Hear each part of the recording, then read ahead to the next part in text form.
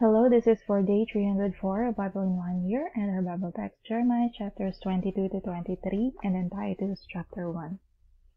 Alright, so we begin with Jeremiah chapter 22.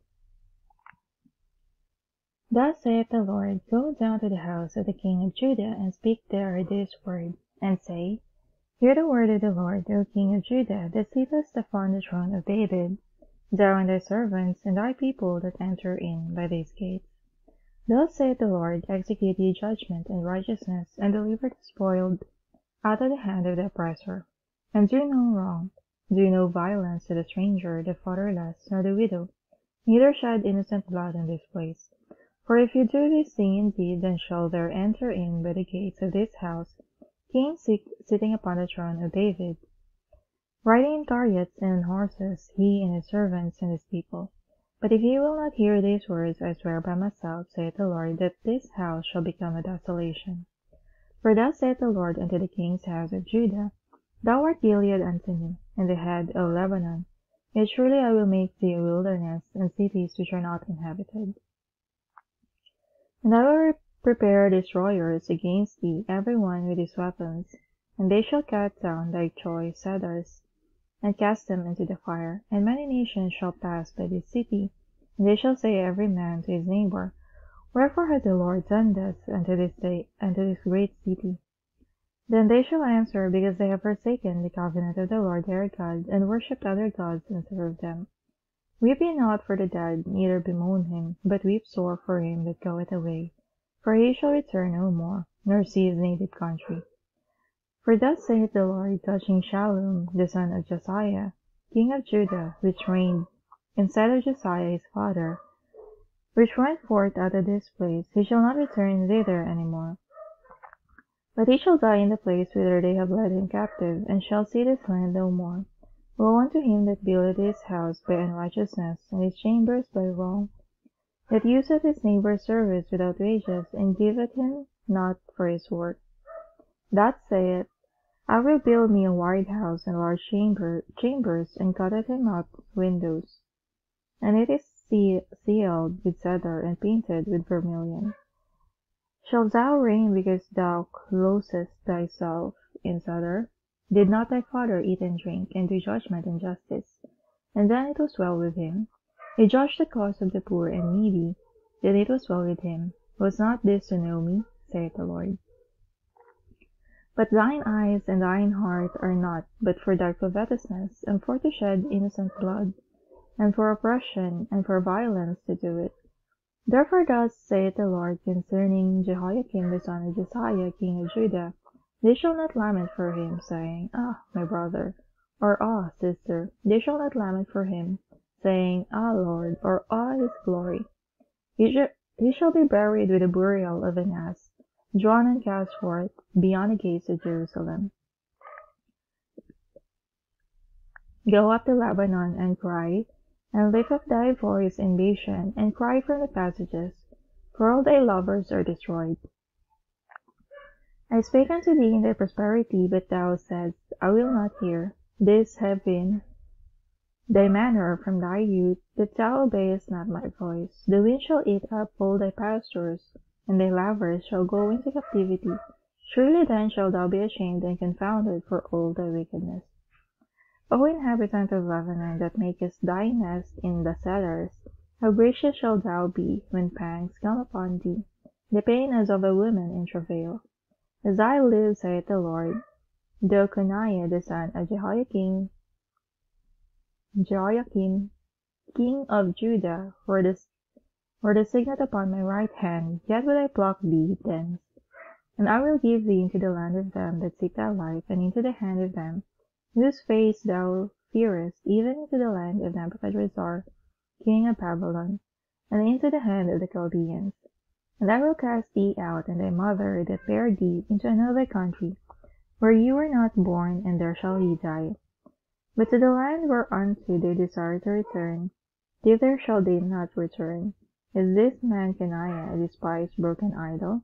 Is he a vessel wherein is no pleasure? Wherefore are they cast out, he and ye seed, and are cast into a land which they know not? O earth, earth, earth, hear the word of the Lord. Thus saith the Lord, Write is this man childless, a man that shall not prosper in his days. For no man of his seed shall prosper, sitting upon the throne of David, and ruling any more in Judah. Jeremiah chapter 23 Woe be unto the pastors that destroy and scatter the sheep of my pasture, saith the Lord. Therefore thus saith the Lord God of Israel against the pastors that feed my people. Ye have scattered my flock and driven them away, and have not visited them. Behold, I will visit upon you the evil of your doings, saith the Lord.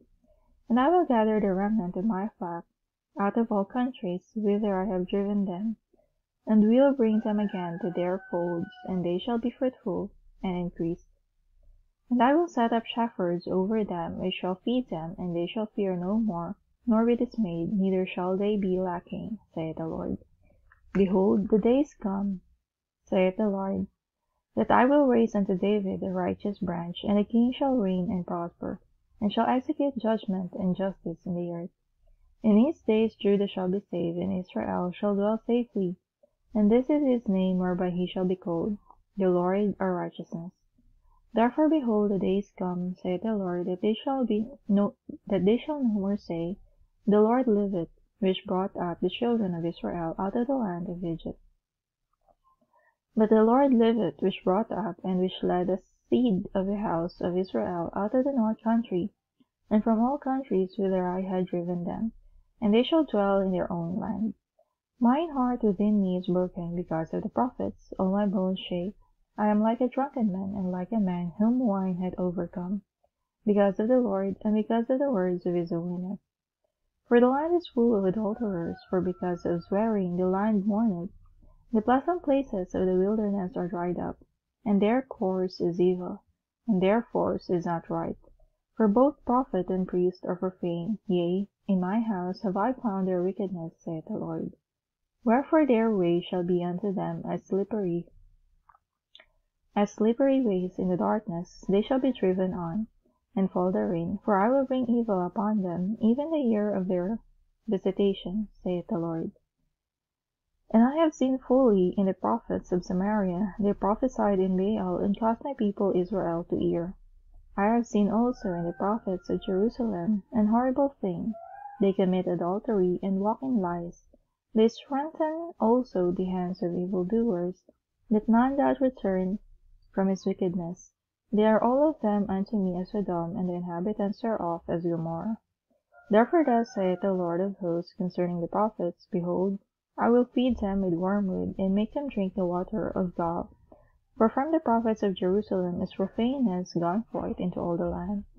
Thus saith the Lord of hosts, Hearken not unto the words of the prophets that prophesy unto you. They make in vain. They speak a vision of their own heart, and not out of the mouth of the Lord. They say still unto them that despise me, The Lord hath said, Ye shall have peace, and they shall and they say unto every one that walketh after the imagination of his own heart, No evil shall come unto you. For who hath stood in the counsel of the Lord, and have perceived and heard his word? Who hath maketh his word, and heard it? Behold, the whirlwind of the Lord is gone forth in fury, even a grievous whirlwind. It shall fall grievously upon the head of the wicked. The anger of the Lord shall not return, until he have executed, till he have performed the thoughts of his heart. In the latter days ye shall consider it perfectly. I have not sent those prophets, yet they run. I have not spoken to them, yet they prophesied. But if they had stood in my counsel, and had caused my people to hear my words, then they should have turned them from their evil way, and from the evil of their doings. Am I a God at hand, saith the Lord, and not a God far off? Can any hide himself in secret places, that I shall not see him? saith the Lord. Do not I feel heaven and earth, saith the Lord? I have heard what the prophets said, that prophesy lies in my name, saying, I have dreamed, I have dreamed. How long shall this be in the heart of the prophets, that prophesy lies? Yea, they are prophets of the deceit of their own heart, which think to cause my people to forget my name by their dreams, which they tell every man to his neighbor, as their fathers have forgotten my name for Baal. The prophet that had a dream, let him tell a dream, and he that hath my word, let him speak my word faithfully. What is the chaff to the wet? saith the Lord. Is not my word like as a fire, saith the Lord, and like a hammer that breaketh the rock in places? Therefore, behold, I am against the prophets, saith the Lord, that steal my words every one from his neighbor. Behold, I am against the prophets, saith the Lord, that use their tongues and say, He saith.